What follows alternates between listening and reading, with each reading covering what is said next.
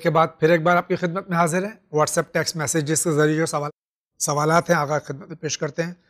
Sir I wish to ask one question only my question is my mother is sick and hospitalise I am the only son to her and for employment purpose stating staying away in America my sisters are taking care of her I am only bread earner to the family and also my wife is pregnant and stays with me I want to ask what is my duty as a son my wife کی not travel I am supporting financially to my mother and I also wish to be physically near her please advise یہ امریکہ میں ہیں اور صرف یہی bread earner ہیں، صرف یہی کماتے ہیں۔ ان کی زوجہ بھی جو ہے ٹریول نہیں کر سکتی، اس لیے کہ حاملہ ہیں۔ ماں بیمار ہیں، بہنوں کے پاس ہیں۔ یہ چاہتے ہیں، پیسے تو بھیجتے ہیں، لیکن چاہتے ہیں کہ ماں کے پاس رہیں اور خدمت کر سکیں، لیکن نہیں کر پا رہے۔ ہیں ان کے، ان کا وظیفہ کیا ہے؟ دیکھیے، اگر جہاں ممکن ہو کہ یہ ٹرانسفر لے لیں امریکہ سے انڈیا۔ اگر ممکن ہو تو یہ کریں۔ بہت زیادہ مجبوری ہے کہ اگر فرض کیجیے وہاں سے چھوڑ دیں گے تو یہاں ماں کی حالت اور خراب ہو جائے گی۔ کم سے کم فائنینشلی تو سب سپورٹ کر ہی رہے ہیں وہ۔ جی۔ تو وہاں سے یہاں آ جائیں گے تو ان کو نوکری نہیں ملے گی پریشان ہو جائیں گے۔ بیوی بھی حاملہ نہیں ٹریول کر سکتی۔ بیوی بھی نہیں کر سکتی ہے تو ایسا نہیں اسلام جو ہے دین جبر تو نہیں ہے۔ جہاں تک ممکن ہو سکے ماں کی خدمت کیجیے اور کوشش یہ کیجیے کہ ان سے رابطہ رکھیے ٹیلی فون کے ذریعے سے، ویڈیو کالنگ کے ذریعے سے کہ ان کو احساس تنہائی نہ ہو سکے۔ بہت بہت شکریہ۔ السلام علیکم۔ علیکم السلام۔ میرا ایک پرابلم ہے۔ میں پانچ وقت کی نماز ادا کرتا ہوں، پر، پانی سا آ جاتا ہے۔ پیشاب کی جیسے پانی سا آ جاتا ہے۔ کبھی کبھی اور مجھے پتہ نہیں چلتا کیا اس حالت میں میری نماز، مکمل ہو جائے گی یا میرا ایک پرابلم ہے میں پانچ وقت کی نماز بھی ادا کرتا ہوں لیکن یہ میرے ساتھ حادثہ ہوتا رہتا ہے۔ جی ہاں یہ سلسل بول کی بیماری اس سے کہتے ہیں۔ جی۔ جو بار بار پیشاب آتا ہے۔ جی۔ تو اگر کنٹینیو پیشاب آ رہا ہے تو ہر وہاں پر کوئی پیڈ پیڈ وغیرہ لگا لیں۔ جی۔ اور ہر نماز کے لیے ان کو ایک وضو کرنا پڑے گا۔ بہت بہت شکریہ۔ میرا سوال ہے کہ کیا وضو ٹوٹ جاتا ہے؟ اگر کسی نے محرم نامحرم کی طرف نظر پڑ گئی جس کی؟ نہیں نامحرم کو دیکھنا غلط ہے حرام ہے لیکن اس سے وضو نہیں ٹوٹتا ہے۔ شکریہ۔ السلام علیکم۔ علیکم السلام۔ رمضان المبارک کے علاوہ اور کسی مہینے کے روزے کی نیت کیسے کریں گے؟ دیکھیے کوئی بھی روزہ رکھنا ہے آپ کو مستحبی یا واجبی روزہ مثلاً فرض کیجیے ستائیس رجب کو آپ کو روزہ رکھنا ہے تو آپ نیت کیجیے کہ آج میں ستائیس رجب کا روزہ رکھتی ہوں یا رکھتا ہوں۔ قربتاً اللہ یا سنت قربتاً اللہ بس اتنا کافی ہے۔ شکریہ۔ کیا حضرت ابو طالب علیہ السلام نے ظاہر طور پر اسلام قبول نہیں کیا تھا؟ اچھا ان کا سوال یہ ہے کہ آپ کے پاس دلیل کیا ہے؟ جی۔ دیکھیے ایمان کی ایک تعریف یہ کی گئی ہے کہ ایمان اسے کہتے ہیں کہ جس کا تعلق پہلے مرحلے میں زبان سے ہو اور دوسرے مرحلے میں ارکان سے ہو۔ جی۔ ارکان یعنی اعضا و جوارح یعنی ہم مومن ہیں زبان سے نہ کہیں بلکہ ہمارا عمل یہ کہے کہ ہم مومن ہیں۔ میں نے آپ کو جاوید بھائی ابھی تک کلمہ پڑھتے ہوئے نہیں دیکھا۔ نہیں نہیں سنا میں نے کہ جی۔ لیکن میں دیکھتا ہوں کہ آپ نماز پڑھتے ہیں ماہ رمضان آتا ہے تو آپ روزہ رکھتے ہیں۔ آپ کے سامنے محمد علیہ محمد کا تذکرہ آتا ہے تو آپ کا چہرہ کھل اٹھتا ہے۔ تو ہم ہم نے سمجھ لیا کہ آپ کیا ہیں؟ مسلمان ہے مسلمان ہیں مومن ہیں۔ ٹھیک ہے نا؟ ابو طالب نے کلمہ پڑھا ہے یا نہیں پڑھا ہے؟ ہمیں ان کی زبان سے نہیں سننا ہے۔ جی۔ ان کے عمل سے دیکھنا ہے۔ جی۔ ابو طالب نے کیا کیا؟ پیغمبر کو بچانے کے لیے جی۔ اپنے بیٹے کو پیغمبر کے بستر پر لیٹایا۔ تاکہ ان کا بیٹا جو ہے وہ قتل ہو جائے پیغمبر بچ جائیں۔ انسان کتنا بھی اپنے بھتیجے کو چاہے لیکن بیٹے سے زیادہ بیٹا بہرحال بیٹا ہے۔ بیٹا ہے۔ لیکن یہاں پر مسئلہ بھتیجے کا نہیں تھا۔ ابو طالب یہ بتانا چاہ رہے تھے کہ میں اپنے بھتیجے کو نہیں بچا رہا ہوں جی۔ میں ایک رسول کی حفاظت کر رہا ہوں۔ جی۔ تو جب رسول کی حفاظت کر رہے ہیں تو وہ کافر نہیں ہو سکتے۔ یہ تو شروع شروع کی بات ہے۔ اور سارے جہاں جہاں بھی پیغمبر اسلام پر جب بھی کوئی مصیبت آئی ہے ابو طالب جو ہے سینہ سپر ہو کر جو ہے سیسا پلائی ہوئی دیوار کی مانند پیغمبر کے مقابلے میں آئے اور دشمنوں سے مقابلہ کیا پیغمبر کے دشمن سے۔ کیا یہ عمل جو ہے ان کے مسلمان ہونے کے لیے کافی نہیں ہے؟ ہمیں ابو سفیان کا وہ کلمہ نہیں چاہیے کہ جس نے کئی جنگیں بھی رسول سے لڑی ہوں۔ اور آخر میں خوف کھا کر جو ہے زبان سے لا الہ الا اللہ محمد الرسول اللہ کہہ دیا ہو، تو اسے دنیا مسلمان کہے۔ ہمیں ابو طالب کا وہ اسلام چاہیے کہ جو پریکٹیکل عملی اعتبار سے ابو طالب نے ثابت کیا کہ ایک مسلمان کو کیسا ہونا چاہیے۔ آئیے، اسی کے ساتھ آگے پڑھتے ہیں۔ السلام علیکم۔ علیکم السلام۔ I have accepted Islam and wish to follow with love and respect after marriage however I did a mistake of aborting of first child and have repented multiple times now when we are praying for a baby I had to go through two miscarriages and even our marriage has a lot of problems what is the way to know if Allah is not راضی with me اور انہوں نے یہ کیا ہے کہ اسلام قبول کیا، اس کے بعد میں انہوں نے ایک بچہ اباٹ کر دیا حمل اپنا سا گرا دیا۔ اب یہ دو بار مس کیریج ان کا ہو چکا ہے۔ معافی مانگتے ہیں، اللہ سے سب کچھ ہے۔ کیا ہے وجہ کہ اللہ تعالیٰ جو ہے ان سے کہ اب تک ناراض ہے اولاد کیوں نہیں عطا فرما رہا ہے؟ بہرحال یہ تو پروردگار بہتر جانتا ہے۔ اس میں ہم اور آپ جواب نہیں دے سکتے ہیں۔ ہم دعا کرتے ہیں کہ اللہ جو ہے اگر یہ جو آپ نے کیا ہے، یہ گناہ ہے، اس کی مغفرت فرمائے اور اس کے شرائط ہیں۔ ان تمام شرائط کے ساتھ الگ الگ مہینے میں جو ہے، جب بچہ گرایا جاتا ہے تو اس کی دیت دی جاتی ہے۔ مجھے فون کیجیے یا ون چینل پہ فون کیجیے تو مجھے بتائیے کہ وہ کون سا مہینہ ہے تو بتاؤں گا کہ دیت کیا دی جائے گی۔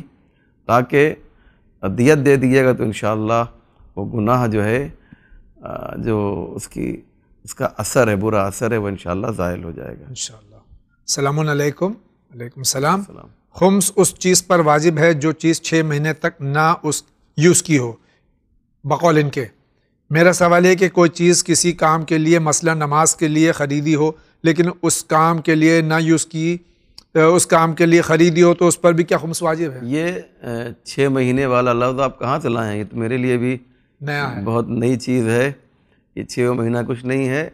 آپ نے اگر اس چیز کا استعمال نہیں کیا ہے کل آنے والا کل خمس کی تاریخ ہے اور آپ نے آج خریدا ہے اور استعمال نہیں کیا ہے تاریخ آ گئی ہے۔ تو خمس نکالنا ہوگا۔ چھ مہینے کی بات نہیں ہے، چاہے وہ اس کا تعلق نماز سے ہو، چاہے کسی اور چیز سے ہو۔ شکریہ۔ السلام علیکم۔ علیکم السلام۔ میرا نام عمران حسین صوفی ہے۔ میں بیمینہ کشمیر سے ہوں۔ میرا کوشچن یہ ہے کہ اگر ہم لڑکوں میں پراپرٹی میں برابر کا حصہ بانٹ دیتے ہیں، تو ہم لڑکی کو اس پراپرٹی کا تیسرا حصہ کیوں دیتے ہیں؟ حالانکہ تیسرا حصہ نہیں دیتے ہیں لڑکی کا ایک حصہ، لڑکے کے دو حصے، ان کے حساب سے۔ کیا یہ صحیح ہے؟ مجھے میرے پاس ٹائم ہے کہ بہت امپورٹنٹ سوال ہے جی بسم اللہ۔ دیکھیے سوال آپ کا بہت اچھا ہے کہ لڑکے کو تھوڑا سا سوال اپنا آپ صحیح کر لیجیے کہ لڑکے کو ڈبل ملتا ہے اور لڑکی کو بیٹی کو یعنی سنگل ملتا ہے۔ مثال کے طور پہ فرض کیجیے کہ تین کروڑ روپے باپ نے چھوڑا ہے مرحوم نے۔ تو اب جو ہے تین کروڑ روپیہ ہے اور ایک بیٹی ہے اور ایک بیٹا ہے جی۔ مرحوم کا۔ تو بیٹی کو ملے گا ایک کروڑ اور بیٹے کو ملے گا دو کروڑ۔ یہ سوال بہت کیا جاتا ہے کہ کیا یہ بیٹی کے ساتھ ظلم نہیں ہے کہ بیٹی کو جو ہے ایک کروڑ ملے اور بیٹے کو دو کروڑ ملے؟ جی نہیں قطن ظلم نہیں ہے۔ میں انشاءاللہ آج آپ کی خدمت میں یہ ایکسپلین کروں گا تو آپ مطمئن ہوں گے۔ دیکھیے اسلام کا قانون یہ ہے کہ جتنا خرچ ہو عطا بھی اتنی ہی ہونی چاہیے۔ مثال کے طور پہ ایک لڑکی ہے وہ تین دور سے گزرتی ہے جاوید بھائی۔ جی۔ نمبر ایک بیٹی ہے۔ پہلے مرحلے میں بیٹی ہوتی ہے دوسرے مرحلے میں وہ بیوی ہوتی ہے۔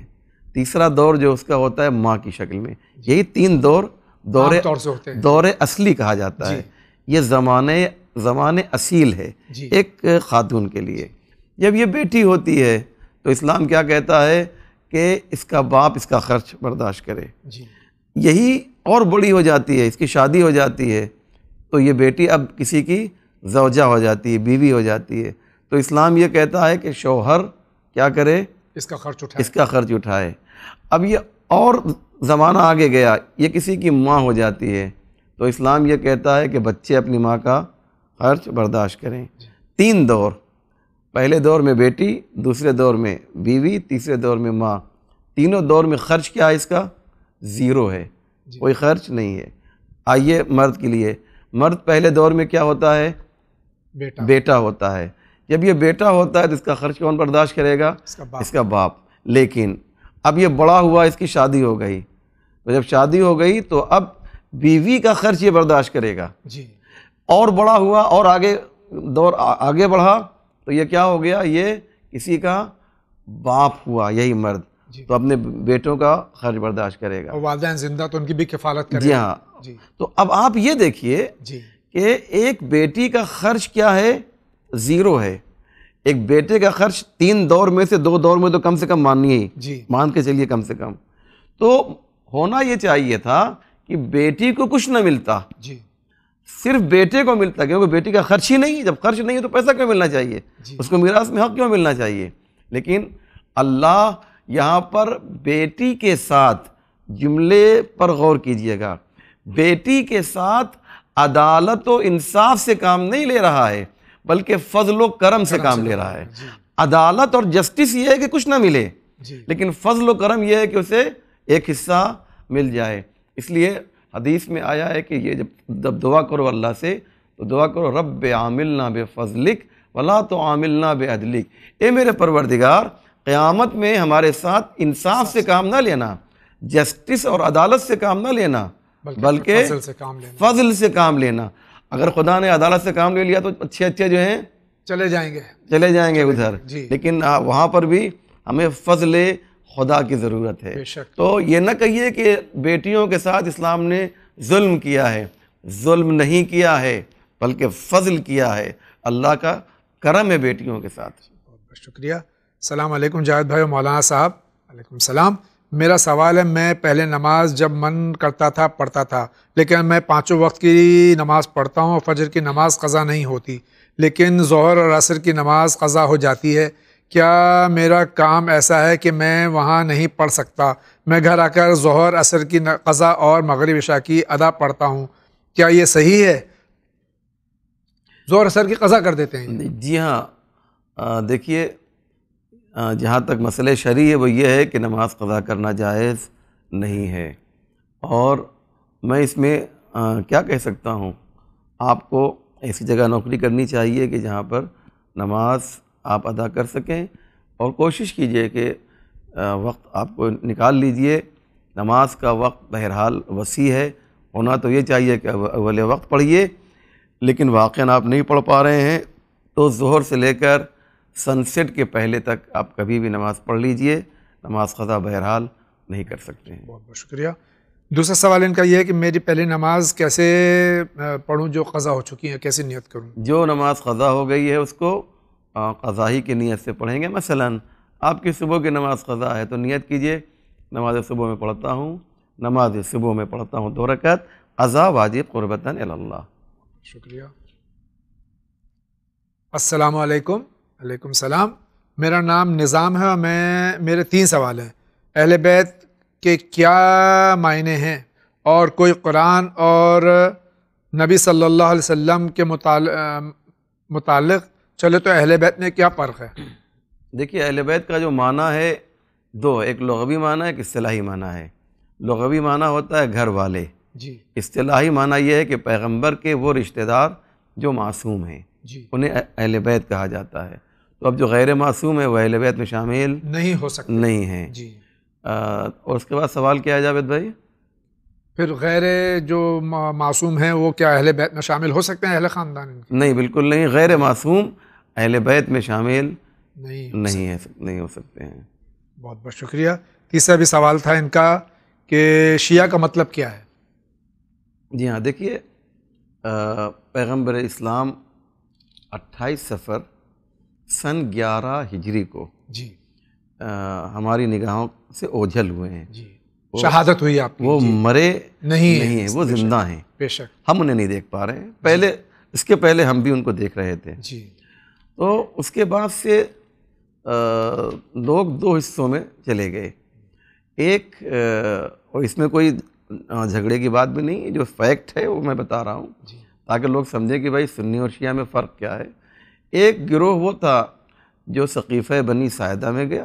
جی۔ اور انہوں نے حضرت ابو بکر کو خلیفہ چن لیا۔ خلیفہ چن لیا۔ انہوں نے بیٹھ کر آپس میں میٹنگ کی۔ اور یہ ہوا کہ صاحب کون ہونا چاہیے؟ تو کہا کہ حضرت ابو بکر کی عمر چونکہ زیادہ ہے اور عمر کی بنیاد پہ ان کو خلیفہ مان لیا گیا۔ کوئی اس میں اختلاف اور لڑائی کی بات بھی نہیں ہے۔ اور دوسرا گروپ وہ تھا کہ جس کا کہنا یہ تھا کہ خلیفہ رسول جو ہے اس کا انتخاب خود رسول کو کے پاس بھی نہیں ہے۔ جی۔ بلکہ خدا منتخب کرتا ہے۔ جی۔ اور غدیر میں رسول خدا نے اعلان کیا۔ رسول خدا کو حق نہیں تھا کہ وہ اپنا خلیفہ بنائیں۔ اپنا جانشین کسی کو منتخب کریں۔ جی۔ بلکہ اللہ کی جانب سے حکم ہوا اور میدان غدیر میں اٹھارہ ذلحج کو پیغمبر اسلام نے یہ اعلان کیا کہ میرے بعد میرا جانشین علی ہوں گے۔ جو اس راستے کی طرف گئے ان کو شیعہ کہا گیا۔ یعنی شیعہ وہ ہے جو محمد و آل محمد کی پیروی کرے اسے شیعہ کہتے ہیں۔ اور اہل سنت وہ ہیں کہ جو حضرت محمد مصطفیٰ صلی اللہ علیہ وآلہ وسلم اور ان کے بعد حضرت ابو بکر سے جو سلسلہ شروع ہوا ہے ان کے ان کی بات کو مانیں اسے اہل سنت کہتے ہیں۔ بس اتنی سی بات ہے۔ بہت شکریہ۔ آگے بڑھتے ہیں۔ کیا کتے کو پالا جا سکتا ہے؟ کتے کو پالنا جی۔ ذاتاً کوئی گناہ نہیں ہے۔ نہیں ہے۔ ذاتی طور پہ جی۔ آپ کتے کو پال رہے ہیں لیکن شرائط ہیں۔ جی۔ نمبر ایک کتے کو اپنے گھر میں نہیں رکھیے۔ جی۔ اس کو گھر کے باہر رکھیے۔ گھر میں رہے گا تو جہاں جہاں جائے گا وہ نجس کرے گا۔ جی۔ اور اس کی نجاست سے بھی آپ کو دور رہنا ہے۔ اور کتے کو اس لیے نہیں پالیے کہ شوق شوق میں آپ پال رہے ہیں۔ جی۔ بلکہ اپنی حفاظت آپ کے کھیت کی حفاظت آپ کے سامان کی حفاظت۔ کتا ایک وفادار جانور ہے نجس ضرور ہے۔ جی۔ لیکن وہ آپ کی حفاظت بھی کرتا ہے۔ تو نیت آپ کی کیا ہے؟ یہ امپورٹنٹ ہے۔ جی۔ کتے کو پالنے میں شرعن کوئی حرج نہیں ہے۔ لیکن شرائط ہے لیکن شرائط کے ساتھ پالیں گے جی۔ تو ہی جائز ہے ورنہ ناجائز ہے۔ یہ نجس ترین مخلوق ہے اللہ۔ جی ہاں جی۔ نجس العین ہے۔ نجس العین نجس۔ العین ہے۔ یعنی جس چیز اگر کتا سوکھا ہے اور آپ کا ہاتھ گیلا ہے آپ نے چھو دیا تو آپ کا ہاتھ نجس ہو جائے نجس ہو جائے گا۔ بہت بہت شکریہ۔ السلام علیکم۔ علیکم السلام۔ میں زہرا رضوی فرام گونڈا۔ جی۔ میں آپ سے یہ پوچھنا چاہتی ہوں کہ کیا عورتیں قبرستان جا سکتی ہیں؟ اور میں چاہتی ہوں کہ آپ میرے لیے دعا کر دیں۔ مولا کے روزے پر میں پہنچ جاؤں اور ایگزام میں کامیاب ہو جاؤں۔ بہن، زہرا رضوی، پہلے میں آپ کے لیے پروردگار عالم سے دل کی گہرائی سے اور چہاردہ معصمین علیہ السلام کو واسطہ دے کر دعا کرتا ہوں کہ اللہ آپ کی اس دعا کو مستجاب کرے۔ آپ کی یہ جو تمنا ہے یہ پوری ہو کہ آپ زیارت کے لیے جائیں۔ آپ کا سوال یہ ہے کہ قبرستان عورتیں جا سکتی ہیں یا نہیں جا سکتی ہیں؟ شیعہ نقطۂ نگاہ سے عورتوں کا قبرستان میں جانا کوئی غلط نہیں ہے بلکہ قبرستان کو مکان عبرت کہا گیا ہے۔ جی۔ اس لیے اس نیت سے جانا کہ ہم قبرستان جائیں گے تو ہمارے ذہن میں ایک بات آئے گی کہ دیکھو یہ کتنے بڑے بڑے مکانوں کے محلوں کے مالک تھے۔ آج چند گز زمین میں جو ہے پتہ نہیں کس حال میں موجود ہیں۔ تو انسان کے اندر ایک انقلاب پیدا ہوتا ہے۔ انسان کے اندر ایک تبدیلی آتی ہے۔ قبرستان جانے میں کوئی نگیٹو چیز تو ذہن میں نہیں آتی ہے۔ کوئی بھی قبرستان جائیں گے، بہت سی جگہیں ایسی ہیں انسان جہاں جائے گا وہاں بگڑنے کے چانسز ہیں۔ میں ایک مثال دے دیتا ہوں ڈسکو شراب خانہ جوا خانہ آپ یہاں پہ جا رہے ہیں آپ لاکھ مومن ہو لیکن ہو سکتا ہے کہ چینج ہو جائیں۔ غلط کہہ رہا ہوں میں؟ صحبت کا اثر ہوگا۔ صحبت کا اثر ہو جائے۔ جی۔ پسرے نو با بداں بے نشست جی۔ خاندان نبوتش گم شد۔ بے شک۔ سگے اصاب کہف روزی چند جی۔ پے نیکاں گرفت مردم شد۔ بے شک تو بے صحبت شک، کا اثر بالکل۔ ہوتا ہوتا ہے۔ تو غلط جگہوں پہ جانے سے انسان جو ہے بگڑ سکتا ہے۔ لیکن قبرستان کے لیے جب شریعت نے یہ کہا ہے، جب حدیث میں یہ آیا ہے کہ یہ سبق لینے کی لیسن لینے کی جگہ ہے، عبرت کی جگہ ہے، تو وہاں جانے سے کون روک سکتا ہے؟ عورت ہو یا مرد، ایک خاتون جا رہی ہے، ایک مومنہ جا رہی، دیکھ کر اس میں تبدیلی آ رہی ہے۔ تو یہ اچھی بات ہے۔ اس لیے میرا اور ہمارے مذہب کا نظریہ یہ ہے کہ مرد کے ساتھ عورتوں کو بھی قبرستان جانا چاہیے۔ زورو موتاکم فَإِنَّهُمْ يَفْرَحُونَ بِمُلَاقَاتِكُمْ اپنے مرنے والوں کی زیارت کے لیے جایا کرو مرد ہو یا عورت ہو جی۔ کیونکہ جب تم جاتے ہو سورہ فاتحہ پڑھتے ہو تو فَإِنَّهُمْ يَفْرَحُونَ جی۔ مردے جو دفن ہیں وہ خوش ہوتے ہیں۔ جی۔ تو جانے سے روکنا غلط ہے۔ جی۔ اور یہاں تک کہ سرکار ختم مرتبہ صلی اللہ علیہ وآلہ وسلم کی زندگی میں خاتون جنت حضرت فاطمہ زہرا سلام اللہ علیہ متفق علیہ ہے کہ آپ قبرستان تشریف لے جاتی تھیں اپنے رسول کے چچا حضرت حمزہ علیہ السلاۃ جی والسلام کی ہاں خبر جی ہاں۔ اور خود گھر جو ہے جناب فاطمہ زہرا کا جی۔ ایک روایت یہ ہے کہ جہاں پر پیغمبر کی قبر ہے وہیں پر جناب فاطمہ رہتی تھی۔ جی۔ ایک روایت کی بے شک۔ پہ۔ بہت بہت شکریہ۔ السلام علیکم۔ علیکم السلام۔ جی میں یہ جاننا چاہتی ہوں کہ تسبیح میں چونتیس مرتبہ اللہ اکبر تینتیس مرتبہ الحمدللہ اور تینتیس مرتبہ سبحان اللہ ہے اور بیچ میں دو امام جو تسبیح میں پورے ایک سو دو دانے ہوتے ہیں اور بارہ امام کی نماز کا طریقہ کیا ہے؟ یہ کئی سوالات ایک ہی سوال میں ہیں۔ دیکھیے آپ کا سوال یہ ہے کہ تسبیح میں جو چونتیس مرتبہ اللہ اکبر پڑھا جاتا ہے اور تینتیس مرتبہ الحمدللہ اور تینتیس مرتبہ سبحان اللہ، اس کا ایک جواب، دو جواب ہے۔ ایک تو بہت ہی معتبر روایت جو منتہى الاعمال میں بھی شیخ عباس قمی نے لکھی ہے۔ وہ یہ ہے کہ جناب فاطمہ زہرا سلام اللہ علیہ ایک بار گھر کے حالات بہت زیادہ خراب ہو گئے تھے۔ تو وہ جاتی ہیں اپنے والد کے پاس۔ تو پیغمبر انہیں یہ تسبیح تعلیم کرتے ہیں۔ جی۔ تو کہا جاؤ اس کو پڑھو تمہیں سکون ملے گا۔ اور کہا کہ پہلے چونتیس مرتبہ اللہ اکبر پھر تینتیس مرتبہ الحمدللہ پھر تینتیس مرتبہ سبحان اللہ۔ تو جناب فاطمہ زہرا واپس گئیں۔ پوچھا مولا علی نے کہ کیا ہوا؟ کہا دنیا لینے کے لیے گئی تھی دین لے کے واپس آئی ہوں۔ جی۔ اور یہ روایت تو ہے اور دوسری ایک روایت اور بھی ہے کہ جب ستارہ زہرا در پہ آیا جناب فاطمہ زہرا نے اسی ترتیب کے ساتھ تسبیح پڑھی تھی۔ البتہ پہلی والی روایت جو ہے بہت معتبر ہے۔ دوسرا ان کا کہ بارہ اماموں کا تذکرہ کہاں ہے؟ نماز کا۔ بارہ امام کی نماز کے الگ الگ طریقے ہیں۔ اگر سب سے آسان طریقہ جو ہے وہ دو رکعت، نماز آپ پڑھیے کئی طریقے ہیں جب کتابوں میں آپ دیکھیں گے، شیخ عباس قمی نے بھی لکھا ہے مفاتی میں، اس کے کئی طریقے ہیں، اسے آپ دیکھ لیجیے دو رکعت نماز آپ چاہیں تو ہر روز امام زمانہ کے لیے پڑھ سکتی ہیں۔ السلام علیکم۔ علیکم السلام۔ میرا سوال یہ ہے کہ کسی والدین کا انتقال ہو گیا اور ان کی کوئی اولاد کئی اولاد ہیں، جن میں سے کوئی ایک اولاد اپنے والدین کے کسی بھی ایک کام مثلا مجلس چہلم یا کوئی اور فاتحہ میں شر، شریک نہ ہو، تو کیا وہ اولاد شرن گناہ کے کا مرتکب ہوگا؟ اسے یہ خدشہ ہے کہ اگر وہ جہاں اس کے والدین میں سے کسی کا فاتحہ ہو رہا ہو، وہاں جانے سے اس کو دلی اذیت ہوگی، تو کیا وہ اولاد وہاں جا، جائے؟ کیونکہ اسے یقین ہے کہ اس کے دل کو اذیت ہوگی۔ برائے مہربانی میرے سوال کا جواب دیجیے پہلا سوال تو سمجھ میں آیا۔ جی۔ ہاں اگر کوئی فرزند کوئی بیٹا اپنے والدین کی مجلس میں شرکت نہیں کر رہا ہے تو یہ کیسا ہے؟ تو بہت غلط ہے۔ والد آپ کے والدین کی مجلس ہو اور آپ نہیں جا رہے ہوں بغیر کسی وجہ کے ایک بار سبب ہے آپ کے پاس دلیل ہے۔ ایسا کوئی کام آ گیا ہے کہ واقعاً آپ سے زیادہ اہم ہو جو اس سے زیادہ اہم ہے آپ نہیں جا سکتے ہیں۔ کسی کی جان بچانی ہے کسی کوئی بہت بڑا نقصان ہو رہا ہے تو اس سے بچنے کے لیے۔ لیکن بغیر سبب کے آپ اپنے والدین کی مجلس میں تو دوسرا دوسروں سے کیا کیوں توقع رکھ رہے ہیں کہ وہ آئیں؟ جی۔ لہٰذا یہ تو غلط ہے کہ آپ کے والدین کی مجلس ہو آپ نہ جائیں۔ بالکل جانا چاہیے نہیں جا رہے ہیں تو غلط کر رہے ہیں۔ اور دوسرا سوال جو ہے بس سمجھ میں نہیں آ رہا سمجھ میں نہیں آیا کہ آپ اس سوال کو کہ میرے اگر جانے سے اذیت ہو یہ بات سمجھ میں نہیں آ رہی ہے اس میں آپ ایک بار پھر جو ہے وضاحت۔ وضاحت کیجیے گا تاکہ یہاں سے مکمل اور تشفی بخش جواب دیا جا سکے۔ بہت شکریہ۔ ناظرین کرام اسی کے ساتھ آج کے اس ایپیسوڈ کا وقت ختم ہو جاتا ہوں۔ آج ہمارے اسٹوڈیو مہمان تھے حجرت الاسلام جناب مولانا محمد اسلم صاحب شیعہ علماء بورڈ کے رئیس۔ ہم ان کے شکر گزار ہیں۔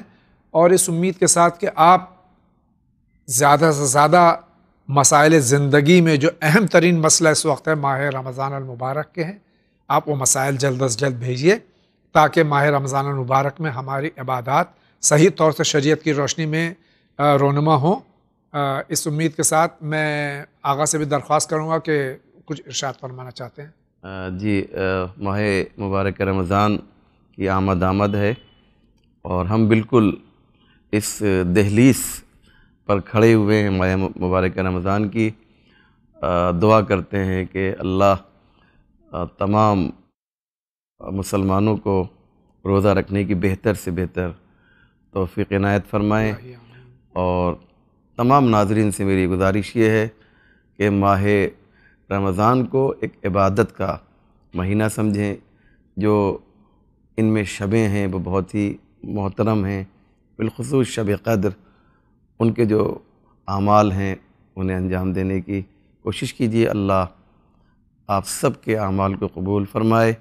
چینل ون کے لیے بھی آپ ماہ رمضان میں ضرور دعا کیجیے کہ جس طرح سے یہ ترقی کی شاہراہ پر گامزن ہے اسی طریقے سے ہر روز ترقی کرتا رہے۔ بہت بہت شکریہ۔ آج کا پہلا انعام جا رہا ہے۔ سوال ہے کہ نابالغ بچوں کا روزہ لڑکی نو سال سے کم اور لڑکا پندرہ سال سے کم۔ اور دیکھا یہ گیا ہے کہ لڑکا اور لڑکیوں کی بہت کم عمر میں چار پانچ سال میں ماں باپ اپنے خواہش کے لیے اور اپنے رشتہ داروں پر فضیلت حاصل کرنے کے لیے ان چھوٹے کمزور اور ماں جو عرف عام میں جنہیں جن بچوں کو معصوم کہا جاتا ہے معصوم بچوں کو روزہ رکھوا رکھواتے ہیں۔ کیا یہ صحیح عمل ہے؟ آج کا دوسرا انعام کے حقدار ہیں۔ میں بیمینا کشمیر سے ہوں۔ میرا کوشچن یہ ہے کہ اگر ہم لڑکوں میں پراپرٹی میں برابر کا حصہ بانٹ دیتے ہیں تو ہم لڑکی کو اس پراپرٹی کا تیسرا حصہ کیوں دیتے ہیں؟ اور تیسرے انعام کے حقدار ہیں؟ تو میں یہ پوچھنا چاہ رہا تھا کہ کون سے سپارے میں ہے اور کون سی آیت میں ہے کہ رسول خدا سے اللہ نے ساتھ فرمایا کہ میں نے تمہاری ضروریت کو تمہارے پاس سمت کر دیا کہ کون سے سپارے میں ہے قرآن کے؟ السلام علیکم۔ واخر دعوانا ان الحمد للہ رب العالمین۔